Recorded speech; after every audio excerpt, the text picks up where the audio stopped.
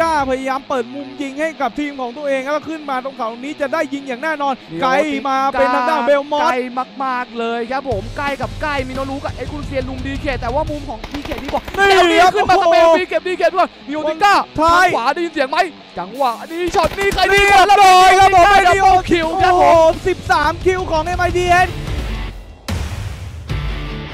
มาติดทางด้านไดโวนะพวกเองครับดาคารี่ โจทย์เก่าฮะอุ้ยแล้วมุมนี้ตัดเปิดหัวได้ครับแล้วเป็นโอ้ดับโหเบิลน็อกของดาแครี่เหลือซามิโน่คนเดียวครับ ใช่ครับ โอ้โอ้โหโหคมจะจัดเลยจังหวะนี้แล้วสุดท้ายเป็นทางด้านชาร์เปอร์เลนออกจากเกมไปในอันดับที่15โดยมาซูริกครับเอาส่วนบอลวิกฮะกับเซเว่นจูนไปโดนเด็กอาซิยากับดาคานี่ตลอดเกมไป เหลือซามิโน่ฮะคนเดียวที่นอนอยู่แล้วสุดท้ายซามิโน่กำลังจะตกเรีเป็ยนบศพของร้อยดาแครี่โอ้โอ้โหโห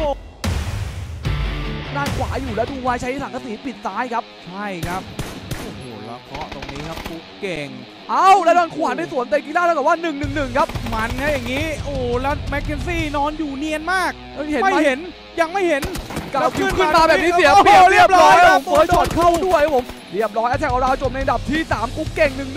1 1แล้วเลือดได้เปรียบมากแต่ว่าสแนปรอสแนปรอยังไงฮะเล่นกับสโมกกันก่อนครับครับเก่งครับถือว่าแต่ฉว่าลาดนะเพื่อนเขาคานดูไว้แล้วมุมนี้เห็นฟรีๆแล้วรีบายโอ้น้องโหสุดโดท้ายนครับสผวนมมาโดนคูฮะโอ้โห